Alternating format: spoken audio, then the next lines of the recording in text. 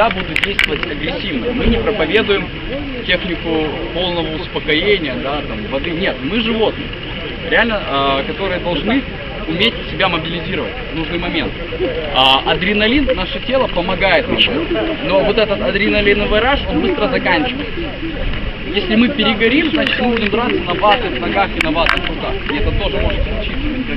К сожалению, мы стремимся к тому, чтобы мы закончили конфликт. Но когда он закончится, действительно мы ничего не знаем, да, конфликт продолжается.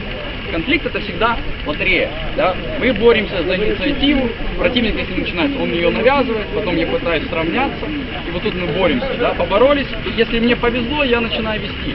Но он точно так же может меня догнать. Но не думайте, что это все длительный по времени процесс. Да? Хорошая драка это 10 секунд.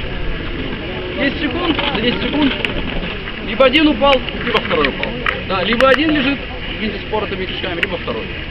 А, варианты получения повреждений, то, что сейчас придет Олег расскажет, замечательный специалист, очень рекомендую послушать его. А Он, а, это то, с чем, к сожалению, при самообороне с ножом придется. Глупо строить а, иллюзию, что вот я взял нож, да, а кто-то же его тоже еще взял. Да, не обязательно, что я достану нож, он же тоже может достать.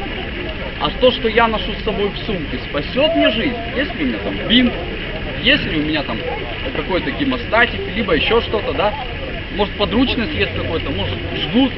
А, поэтому в этой ситуации, да, вы должны вот эту картинку с другого человека еще на себя спроектировать, да, выходя из дома спросить себя, а может со мной сегодня что-то случится?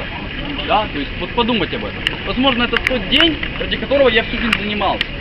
Да, возможно, это тот день, когда кто-то попробует забрать мою жизнь. Вполне возможно. Э, следующий важный момент, да, как э, говорил покойный наш инструктор, и не только наш инструктор, Вячеслав Галвар, Кузьмич, да, э, безопасность это не результат. Безопасность это процесс, да, это длительное мероприятие, это огромный комплекс всяких действий. Доктор, да, доктор здесь. Олег Картавец, это специальной подготовки. Научит вас что делать, если вы не умеете. Сейчас. Смотрите, то есть как бы, все очень просто. В случае, если мы э, имеем проблему, связанную с кровотечением, нужно понять две вещи, основные вещи. С каждой секундой из него уходит кислород, потому что кровь это транспорт кислорода. То есть с каждой секундой он может потерять сознание и, соответственно, выключиться из процесса, связанного с борьбой за собственную жизнь. Вариант второй. То есть, если мы работаем по кровотечению, мы должны понять, что нужно простые эффективные действия. То есть, если вы считаете, что кровотечение перекрывается только жгутом, то подумайте, где вы его возьмете. Если вы считаете, что кровотечение перекрывается только в случае, если вы, если вы видите, что оно течет из руки и из ноги, то опять-таки подумайте, что вы будете делать или с рукой. Поэтому мы говорим, если говорить о кровотечении, то прежде всего поговорим о собственной защите. Перчатки. Вот простейшая аптечка, которая тоже может находиться в руках или э, на поясе или в рюкзаке любого человека. Аптечка, которую, скажем так, даже можно порекомендовать каждому из вас. Где есть жгут, где есть средства остановки кровотечения с помощью, допустим, гемостатических контактных, э, контактных гемостатиков, пропитанный бинт. Здесь быть пленка клапан для искусственной вентиляции легких. Кто-то знает, что у нас люди в стране умирают от инфарктов и от инсультов. Не от того, что в них попадает пуля во время боевых действий. А лидером смертности является ДТП и инсульт инфаркт. То есть проблема с сердечно-сосудистой системой. И и перчатки, которые могут спасти вашу жизнь. Почему это так? Вы не знаете, что в крови у человека. Откуда вы знаете, что в крови у вас? Потому что вы последний раз сдавали анализ на гепатит когда? Никогда. То есть вы не сдавали анализ на гепатит лично. А раз это так, то откуда вы знаете, если он у вас в крови? То, что у вас сейчас нет болевых ощущений, это еще не говорит о том, что у вас нет проблем.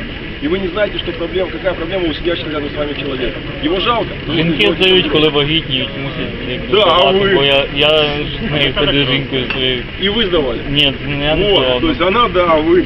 То есть что получается? Если мы хотим помочь человеку и нам его жалко, то подумайте о том, что у вас дома семья, у вас есть родные и близкие, которые не заслуживают того, чтобы вы принесли домой инфекцию, перчатки. Следующий вопрос. Я здесь в данный момент одеваю перчатки, сволочь такая, он вытекает. Да, это правда. Но, если я одеваю перчатки, в этот момент я могу ему дать рекомендацию. Зажми рану рукой. То есть сам себе зажми рану рукой.